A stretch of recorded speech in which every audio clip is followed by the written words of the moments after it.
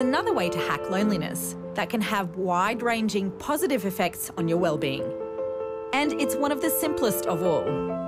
Just get outdoors.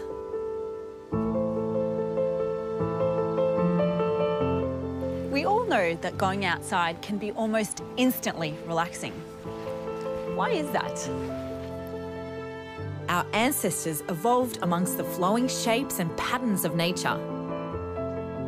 Today, our minds still process natural forms more efficiently and easily. Spending two hours a week in nature can lower a person's stress levels, decrease blood pressure, boost mental health, and even increase life expectancy.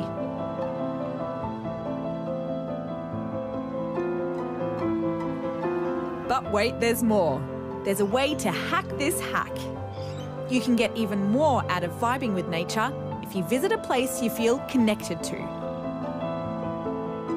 To explain, I'm meeting Burrabaronga woman Karen Smith at a very special location down the road from my place. Now, Lily, uh, this is what I wanted to show you. It's quite an extensive engraving site. Like many places across the country, this site has been treasured by generations of First Nations people. So you have the story of the whale's journey up and down the coast reflected on the rock engravings all the way through the Northern Beaches area. We know that the Gayamaygal people would have been walking on this rock and making this engraving. And that connects me back to those people. You can almost hear them.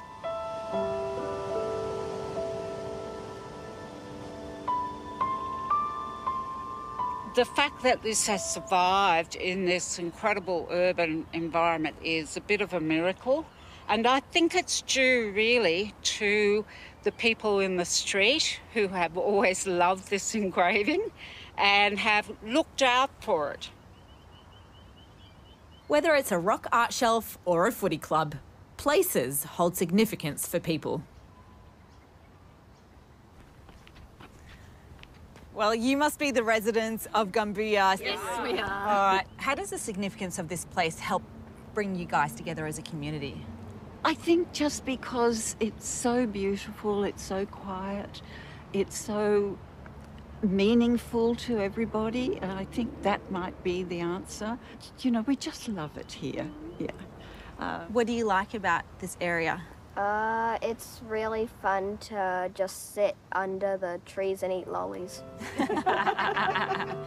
Clearly, the locals are attached to this place, and it seems to have amplified their spirit of community.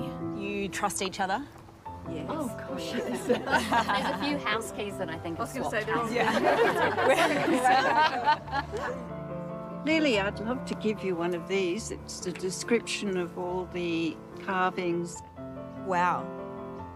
You know, we come from different communities, there's many people from different countries here, and to think that there's all these people in this street who are keeping an eye on this site is just amazing. The study of place attachment is just decades old. But it may have been a bedrock of human society forever.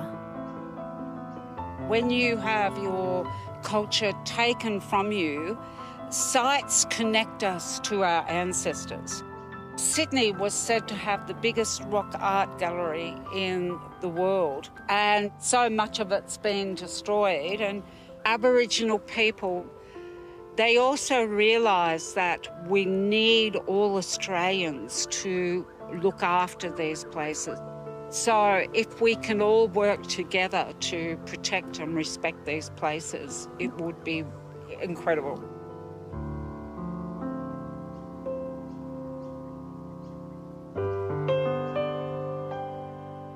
We have a lot to learn from being connected to country. Taking an interest and really noticing what's around you builds a sense of belonging, not only to where you live, but who you live there with.